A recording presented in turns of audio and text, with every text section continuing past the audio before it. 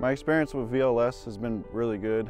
It's uh, very caring and kind people in here. Friendships and the relationships I've built here with coworkers have been pretty good.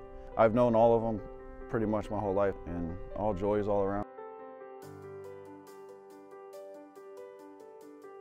My name's Kyle and I'm an operator with VLS.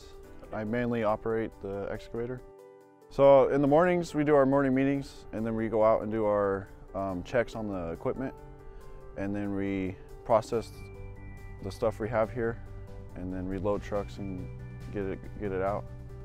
Safety is a big thing because in the excavator it's hard to see around, so radio communication is key in using your horns when you're around. Teamwork is a, is a good thing because I can teach them the, the surroundings of the equipment and where not to go and when not to go there because it is dangerous. It's, it's a big equipment, it's hard to see and it's, it doesn't slow down for no one. Words that I would give someone that would want this is, you know, keep your head up. Don't have a negative mindset coming into work like this and just stay positive.